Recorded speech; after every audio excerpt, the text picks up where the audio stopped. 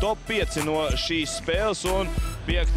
vietā Aigars Šķēle 5. vietā un viņa izpildītā svecītie floater metiens, jeb varavīgs metiens, jeb kāds mīl arī teikt akseļa vairoga metiens, jebkurā gadījumā labs pārliecinošs metiens grozā un Aigars Šķēle ierindojās 5. vietā.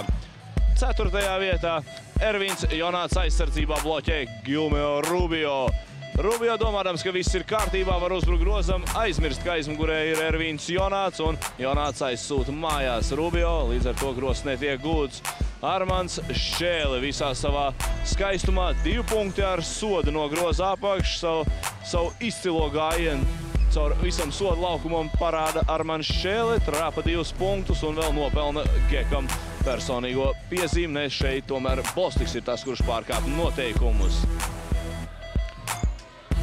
Otrajā vietā daudz pieminētais Jānis Bērziņš un viņa labā piespēle Marekam Meijerim. Ekstra piespēle bija iespēja un laba pozīcija pašam Jānim Bērziņam, bet ar acu kaktiņu viņš redzēja, ka partneris ir vēl labākā pozīcijā, atdeva šo papildus piespēlīt un droši divi punkti no groza apakš. Nedaudz gan aizsargs patraucē, bet Meijerim tas netraucē.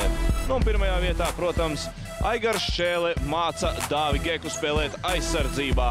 Vairāk smāņu kustības, labs dribls, vienreiz paslīd Geks, otrais Geks pazaudē savu stabilitāti un Aigars Šķēle gūst divus punktus no groza apakš. Nu, skaista šī epizode, tiešām labi nospēlēja Aigars Šķēle, nu, un Dāvim Gekam, starp citu, arī laba mācība pēc šādām situācijām.